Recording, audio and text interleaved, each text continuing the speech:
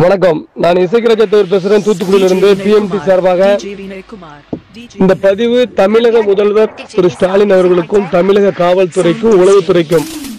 தொடர்ந்து தென் மாவட்டங்கள்ல இணக்கமா வாழ்ந்துகிட்டு இருக்க சமூக மக்களிடையே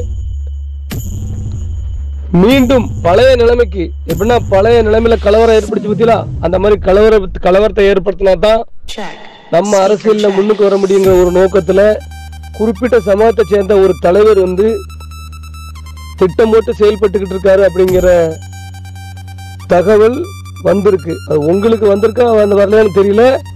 அதனால மீண்டும் தென் மாவட்டத்தை வந்து எப்படின்னா கலவர பூமியை ஆக்க நினைக்கும் அந்த தலைவர் யார் என்று கண்டுபிடிங்க. உளவுத்துறை வந்து கொஞ்சம் கவனமாக இருங்க. கவனமாக இருந்து அதை நீங்க இது- ஏன்னா ஏன்னா தொடர்ந்து முக்குளத்துறை சீன்ற வேலையிலேயே ஈடுபட்டுக்கிட்டு இருக்காங்க இப்போ. தென் மாவட்டங்களில் அந்த கு- அந்த குறிப்பிட்ட சமூக இரு சமூகமும் தற்போது அமைதியா இருக்கணும்னு சொல்லி முடிவு பண்ணியிருக்கோம். அமைதியா இளைஞர்கள்லாம் நல்வழிப்படுத்தணும் படிக்கணும் அருவாக்கம் எடுக்கக்கூடாது அப்படின்னு சொல்லி நிறைய விதவைகள் உருவாயிட்டாங்கப்பா. இந்த மாதிரி கலவரங்களில் ஈடுபட்டு அப்படிலாம் பண்ணக்கூடாது நம்ம இருக்கக்கூடாதுன்னு சொல்லி சொல்லி இளைஞர்கள்லாம் திருத்தி கொண்டு வரோம்.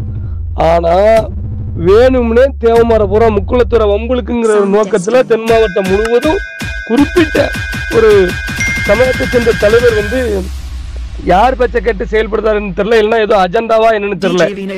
அதனால அவரை வந்து கண்டிப்பான முறையில் வந்து தமிழக அரசு தற்போது விழிப்புணர்வோடு கண்டுபிடிக்க வேண்டும் என்று மிகவும் தாழ்மையோடு கேட்டுக்கொள்கிறேன்.